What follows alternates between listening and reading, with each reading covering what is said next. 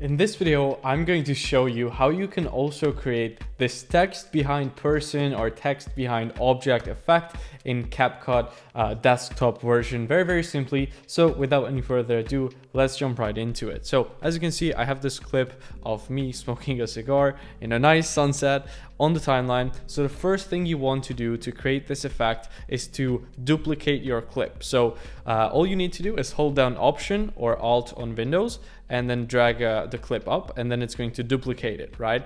Uh, so you want to have them on top of each other like this. And then you want to click on the clip that is on top and then come here to video, cut out, and then click on auto cutout. Okay, so now it basically just analyzes your clip it cuts you out from the background. And if I were to disable the slower clip, which you can do by pressing V on your keyboard, you can see now it, it basically has like uh, no background. But I'm going to still enable it. And now I'm going to add my text. So the key thing is here to add the text uh, between the two layers, right? Just like this. And then you can put in whatever text you want, right? I'm just going to put in uh, sunset for example, you can uh, customize it. I'm going to make it a bit bigger and I will use a different font. Let's just use this one, for example. And now you can obviously place it wherever you want to place it on the image. And now if I play this back, as you can see, the text appears to be behind me.